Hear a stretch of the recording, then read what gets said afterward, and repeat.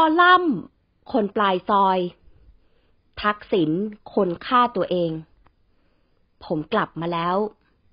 ผมในที่นี้ไม่ใช่ผมนะครับ แต่เป็นเขา เขาที่ชื่อทักษิณชินวัตรนักโทษรันอินคุกเจ้าเก่าเจ้าเดิมคนนั้นแหละ เห็นช็อกไปแป๊บ ตอนถูกอายการสูงสุดสั่งฟ้องในคดี112และนัดนำตัวไปส่งฟ้องศาลอังคารที่ 18 มิถุนายนที่จะถึงนี้ แต่พอหายช็อกก็ดิ้น ดิ้นสู้นะ่ะ ตามสไตล์คนมีบารมีเหนือสามสถาบันอำนาจประเทศ แต่สู้ตามนิยาม เก่งแต่ปาก ส่วนขี้เต็มกางเกงยังไงก็อย่างนั้น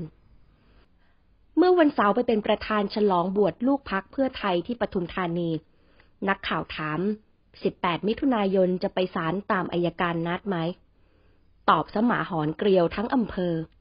แน่นอน ส่วนจะต่อสู้คดีอย่างไรนั้น ก็ไม่เห็นมีอะไรเลยคดีนี้ และคดีนี้จะเป็นตัวอย่างให้คนเห็นว่า ตอนปฏิวัติยัดข้อหาอย่างไร คดีนี้เป็นคดีที่ไม่มีมูลเลยแม้แต่นิดเดียว ก็พยายามที่จะนำไปตีความเพื่อให้มันมีมูล เมื่อคนหนึ่งสั่งฟ้อง คนอื่นก็ไม่กล้าที่จะไม่สั่งฟ้อง เลยสั่งฟ้อง ซึ่งไม่ใช่หลักกฎหมาย จริง ๆ แล้วไม่มีอะไร แรงไม่ตกดีจริง ๆ กังวลเรื่องประกันตัวไหม นักข่าวขยิกถาม ก็ตอบด้วยความเร็วเหนือแสงทันที โอ้ยไม่มีหรอก คดีแทบจะไม่มีมูลแบบนี้ เขาเรียกว่าเป็นผลไม้ของต้นไม้ที่เป็นพิษ คือการทำคดีแต่ละข้อกล่าวหาตั้งแต่ต้นที่มีการข่มขู่ ตั้งแต่ในชั้นพนักงานสอบสวน โดยผู้บังคับบัญชา คดีไม่ควรเป็นคดีต้นไม้พิษกับขี้โกงสารพัดพิษนี่ ออกลูกมาเป็นคอกหรือเป็นดอกผมก็ไม่แน่ใจ แต่น่าจะเป็นต้นไม้ประจำตระกูลนะ เพราะเห็นพูดถึงประจำและบ่อยมาก แน่นอนเสียงสูงแบบนี้ทำให้นึกถึงยิ่งลักษ์ตอนตอบนักข่าว ว่าไม่หนีขึ้นมาฉับพลัน ดิฉันเองไม่หนีไปไหนหรอกค่ะ แม้ดิฉันเป็นผู้หญิง แต่ดิฉันก็กล้าเผชิญเหตุต่างๆ ค่ะสะบัดไม้เสร็จก็เบะปาก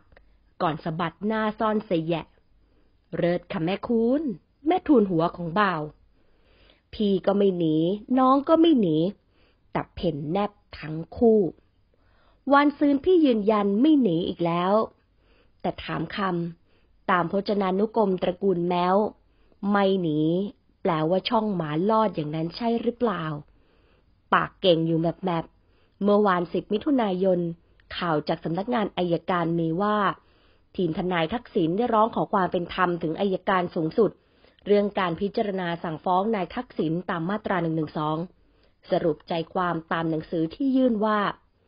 คณะกรรมการสอบสวนขณะนั้น ถูกข่มขู่จากรัฐบาลคณะรักษาความสงบแห่งชาติ หรือคอสช จนขาดความเป็นอิสระในการรวบรวมพยานหลักฐานทางคดีทำให้นายทักษิณไม่ได้รับความเป็นธรรมในการพิจารณาสั่งคดีจากอายการสูงสุด จึงขอให้อายการสูงสุดหรืออสส ทบทวนการสั่งฟ้องนายทักษิณตามมาตรา 112 และพรบคอมพิวเตอร์ใหม่อีกครั้งเพื่อความยุติธรรมด้วย ต้องให้มันได้อย่างนี้สินา ไม่งั้นเสียชื่อนักโทษเทวดาหมด สมแล้วที่เขาร่ำลือ เป็นเจ้าสำนักผีโมแป้ง ตอนอสส นัดฟังคำสั่งทำหนังสือขอความเป็นธรรม ยืดเวลาคดีออกไป นั่นนับเป็นเรื่องปกติ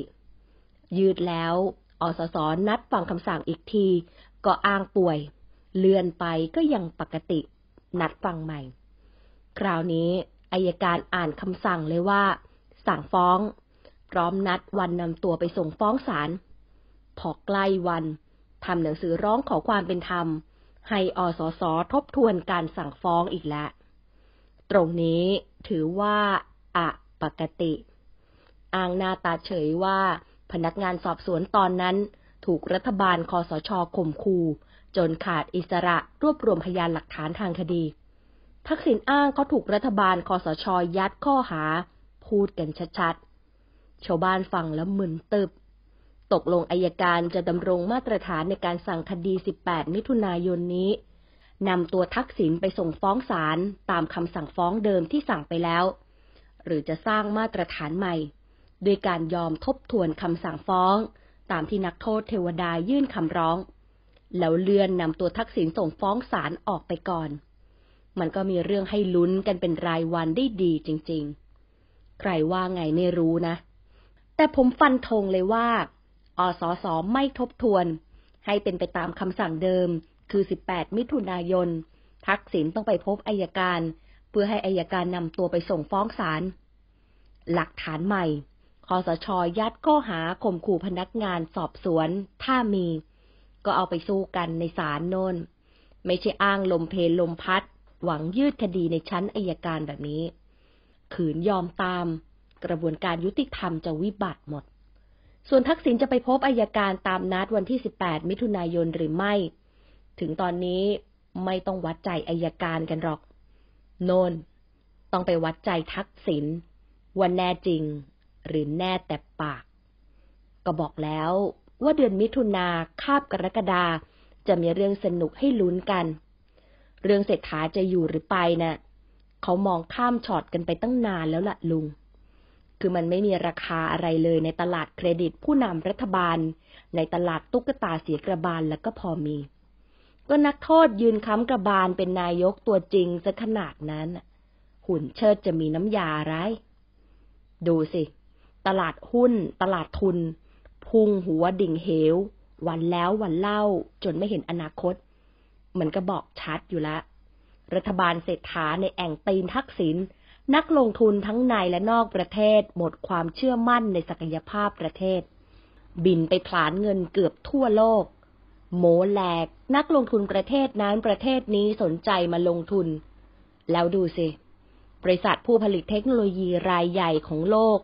เดี๋ยวบริษัทนั้นย้ายฐานการผลิตไปเวียดนาม ไปอินโด เดี๋ยวไปมาเล ตอนนี้ทั้ง Google ทั้ง Microsoft ทุ่มงบร่วมแสนล้าน เขียดไทยทิ้ง ไปตั้งฐานผลิตอยู่มาเลเพื่อนบ้านเรา เมื่อวานผู้ผลิตเซมิคอนดักเตอร์รายใหญ่ของโลกไต้หวัน เนเธอร์แลนด์ ร่วมทุน ประกาศย้ายฐานการผลิตไปสิงคโปร์ที่เข้ามาลงทุนในไทยก็มี กลุ่มทุนจีนเทาร่วมทุนกับกลุ่มอำนาจกากีเทาตั้งเครือข่าย call center และเว็บพนันออนไลน์ พวงบัญชีม้านั่นไงสิบเดือนรัฐบาลเศรษฐาเฟะฟ้าไร้ฝั่ง จนตอนนี้เห็นหมายืนขี้กลางถนน ก็แทบจะทึกทักเป็นซอฟต์พาวเวอร์ไปด้วยซ้ำนายกตัวจริงนั่นก็เหมือนกัน ตอนอสสสั่งฟ้องก็สงบเสงี่ยมไปพัก ยังนึกภาวนา ถ้ารู้จักเจียมตัวเจียมตนแบบนี้ไปเรื่อยๆ ก็ขอให้ตลอดรอดฝั่ง ดีได้พักเดียวก็ดีแตก คนดีแตกเนี่ย ไม่ตายก็คางเหลือง เที่ยวให้สัมภาษณ์เลเพลาดพาดไปถึงบ้านป่ารอยต่อ เชื่อมโยงไปถึง 40 สว ที่ร้องสารรัฐธรรมนูญเรื่องเศรษฐากระทบชิงไปสองปอนนมันเท่ากับแก้ผ้าให้โลกเห็น ว่าทักษิณไม่เคยรู้สึกตัวเองเลยว่า ได้ทำผิดอะไรไว้บ้าง มีแต่โทษคนอื่นว่ากันแกล้ง ใส่ร้ายเขาตะพึดโทษกระบวนการยุติธรรม โทษคอสช โทษพลเอกประวิตยพลเอกประยุทธ์ โทษสื่อ ส่วนนายพพยาปอกปอกปอนั้น ไม่ต้องพูดถึง เมื่อดีแตกก็กลาง พล่านทำตัวเป็นประยาเหยียบเมือง คับพอง เดินสายแสดงอำนาจบารมีไปทั่วด้วยย่ามใจ ขนาดขึ้นเวทีฉลองงานบวชลูกพักเขาเมื่อวันเสาร์จับไม้ได้เท่านั้นแหละ ปลุกระดมทันที ผมกลับมาแล้ว พี่น้องชาวเสื้อแดงก็ต้องกลับมาอยู่ด้วยกันนะ วันนี้ผมซาบซึ้งที่เห็นพี่น้องเสื้อแดงยังแข็งแรง โดยเฉพาะพี่น้องเสื้อแดงจังหวัดปทุมธานี บางคนมากอดผมและร้องไห้ นึกไม่ถึงว่าผมจะกลับมา ผมก็ยอมรับว่า นึกไม่ถึงเหมือนกัน ว่าผมเองจะได้กลับมา อดีต 18 ปี แดงทั้งแผ่นดิน ทักษิณสถาปนา จะวนลูปสู่บรรยากาศเผาบ้านเผาเมืองกันอีกครั้งแล้วหรือ ประโยคที่ทักษิณโฟนอินจากนอกประเทศมาถึงเสื้อแดง เมื่อปี 2553 ยังก้องอยู่ในหูไม่หาย ให้พี่น้องต่างจังหวัดไปที่ศาลากลาง ผมอยากฝากบอกคนเสื้อแดงทั่วประเทศอีกครั้งหนึ่งว่า ถ้ามีอะไรเกิดขึ้นรุนแรงกับพี่น้องคนเสื้อแดงที่กรุงเทพ พี่น้องเสื้อแดงต่างจังหวัด ไปที่ศาลากลางให้เต็มที่ จะเอากันอย่างนี้ในเดือนสองเดือนนี้ ทักษิณออกเดินนำหน้าเลย หรือจะหนีก่อนแล้วค่อยโฟนอินเข้ามาล่ะ มีเวลาให้นอนคิดอีกเจ็ดวัน จะเลือกแบบที่หนึ่งหรือแบบที่สอง ตกลงปลงใจแบบไหนแล้วค่อยประกาศอีกทีก็ยังทันนะ ไม่ใช่อะไร ถ้าเอาแบบแรก คนเสื้อแดงเขาจะได้ประจำจุด ถ้าแบบหลัง นายใหญ่ขึ้นฝั่งหนีรอดแล้ว พวกเขาจะได้ไม่ต้องแบกเรือตามขึ้นภูเขา ให้ดูเป็นงั่งรอบสองไงล่ะ เปลวสีเงิน 11 มิถุนายน 2567